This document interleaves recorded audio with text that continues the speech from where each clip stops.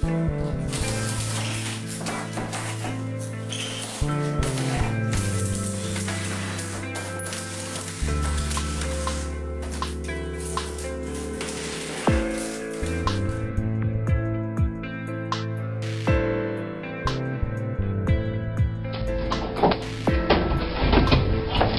technique's going to work a lot better with regular drywall than it would plaster lath construction.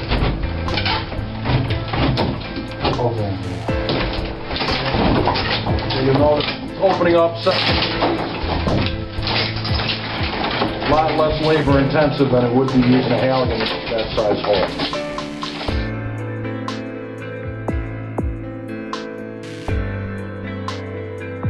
Enough that you can spin the hook around and fit the head of it up in there.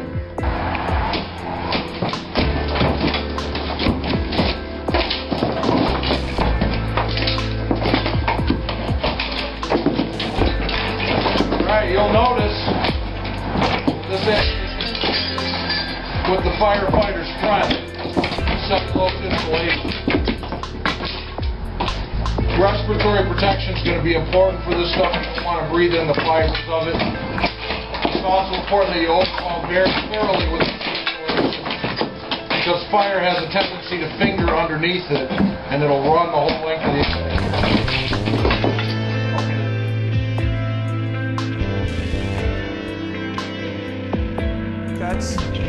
Remove the little knockout. That's sufficient right there. And then use the hook to lift the boards.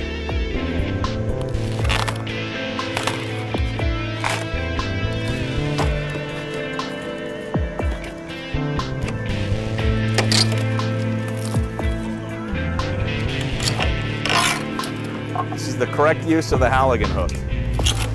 It's a large pry bar. Once the hole has been opened, make sure you push the ceiling.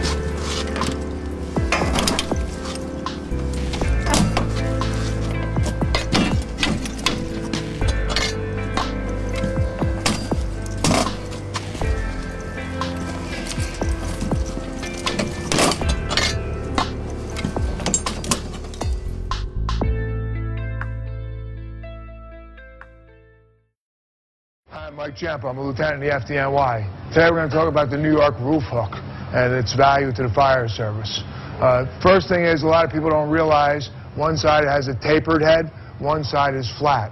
The reason it's flat on one side is when you put it up against a wall, it rides flat so that the point can get under some flashing. Maybe on the old dumbwaiter shaft, or maybe sometimes when we're taking crown molding, go flat against the wall. As you can see, it stays flush.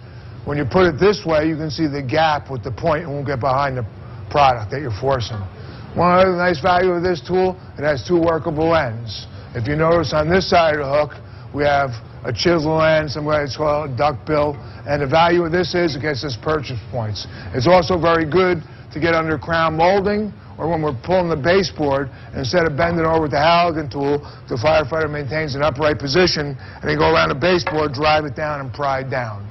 Uh, they do come in fiberglass. We prefer steel. It's about the same weight. It's a very valuable tool. Another thing about the New York roof hook is when you're pulling ceiling, okay? Most guys want to put in and pull this way. You don't because it wants to get caught on BX, Romex cable, a cross brace. Not only that, as you pull down lath and plaster, you're pulling the material at you. When you pull this way, straight down, as you pull, the material is going down, this pattern wants to knock the material down. And if you get hooked on a wire, you just lift it up and you can move. So, the New York roof hook. It's a tool the truckies love in New York. Try one out. You'll like it. That's today's quick tip. Thanks for watching.